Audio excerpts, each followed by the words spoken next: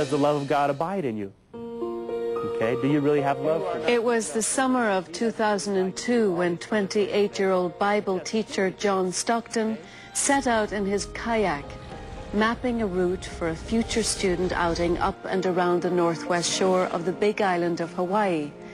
His basic supplies for the leisurely journey included his cell phone, though its use at sea would be limited, snacks to sustain him, and a rain slicker. The first leg of the trip was blissfully trouble-free. But danger loomed in the form of a ferocious storm building on the horizon. I began to notice off my right a much larger buildup of, of a cloud storm system. So I actually turned the boat around and started making it, you know, making for shore as quickly as possible. Torrential rains and powerful swells prevented John from reaching his cell phone. And that far out at that area of the island, uh, I wasn't going to try and chance losing the phone or getting it wet. I actually got overcome by the storm. Uh, the boat flipped over. As I began to right the boat, all I could do was hang on. It got to the point where hypothermia started to set in, and I started to think to myself, this is going to be the, the longest night of my life. And I just began to cry out, God, what am I going to do? At 4 a.m., 20-foot-high waves crashed over him and 60-mile-an-hour winds pushed his boat farther out to sea. In the middle of all this, John miraculously managed to upright his unwieldy craft and climb back in. Uh, I, I, was dehydrated, I was starving, I was afraid, I was, I was completely exhausted. All my mind is, is bent on is getting back to shore, and the reality is crushing in that that is exactly what is not happening. You are getting taken further away from safety. That, is, that was a paralyzing feeling. It felt like it was futile. I felt like no matter what I tried to do, I was, I was toast.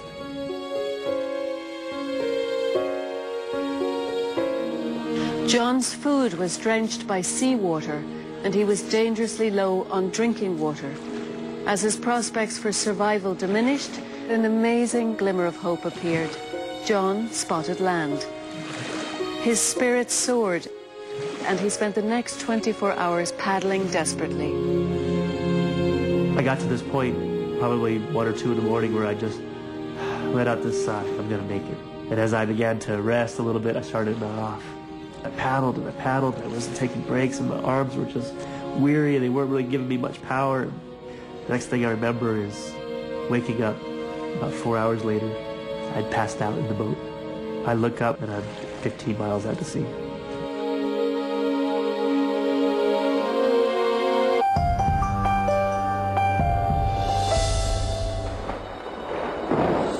When John Stockton got caught in a storm kayaking off Hawaii's northwestern shore, raging winds and massive swells pushed his boat out into the open ocean.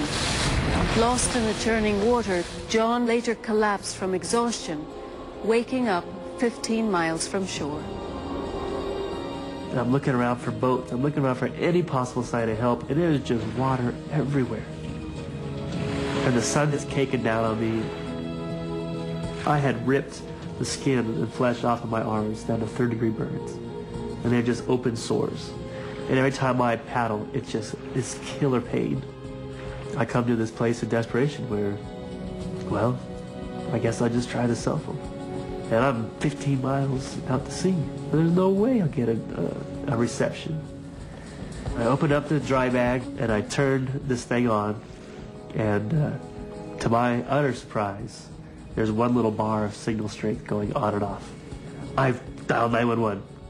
And I get this local lady, and she says, Sir, I can't hear you. And then I tried to, to call her back. Says no service. Out of nowhere, I reach this pocket of clarity, and one bar up to two bar come down. And I dial 911. And I get this lady and said, my name's John Stockton.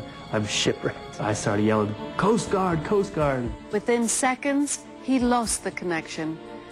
But miraculously, the words he had used to convey his plight to the operator would launch the massive search to find him. Minutes later, he received a voicemail on his phone from Coast Guard Petty Officer Justin Acosta. Starting around 5 o'clock for the next three hours, we started receiving phone calls from him every 15 minutes, every 20 minutes, and they'd all last about from 5 seconds to 30 seconds.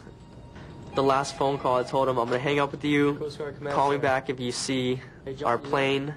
I told him just to hang on. We're in the area. Don't give up hope. John continued to drift into the open ocean. Navy and Coast Guard planes repeatedly flew overhead, but for rescuer Scott Gordon, it was nearly impossible to spot a vessel that small in the huge sea. When you search for something in the ocean, it's not like we're searching anybody on land. It's a very wide area out there, especially out here in Hawaii. There's nothing really around except for water. Now John had a new worry. Drawn by the blood from his wounds, sharks began to circle his boat. And I know that I'm attracting sharks. And everything that I hear that sounds like a shark, I just put it out of my mind. If I make eye, contact with a shark, I'm going to lose it. And when this shark hit me, you know, I came to this attention. I snapped to attention. And I took out the oar and I just started paddling away from it. John faced a third frightful night at sea, terrorized by the threat of sharks. John's hopes for a rescue that day faded with the setting sun.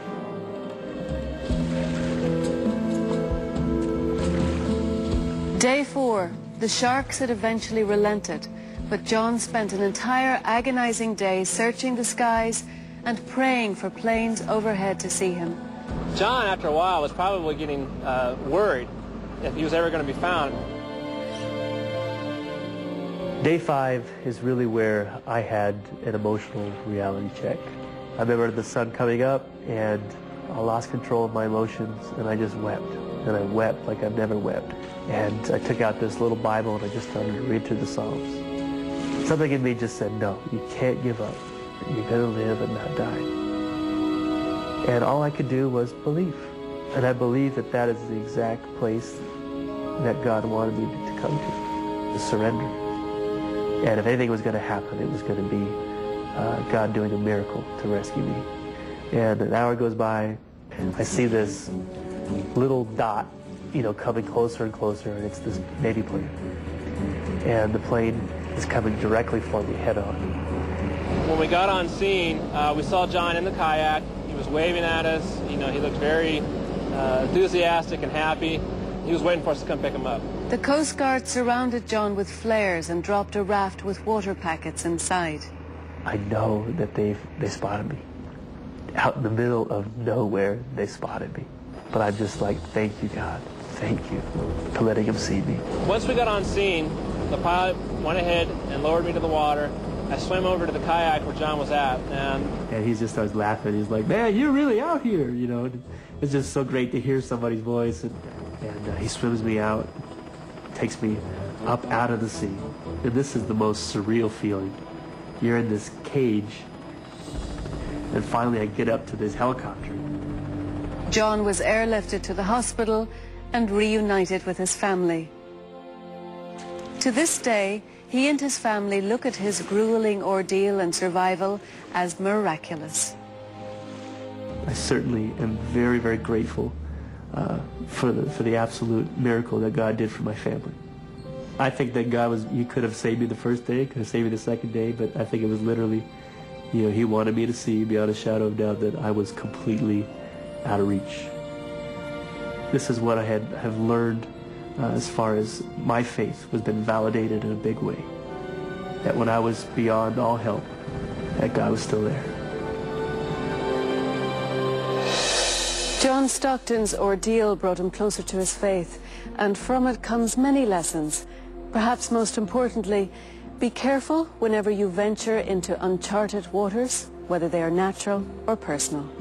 We'll return with more of It's a Miracle in a moment. Next on It's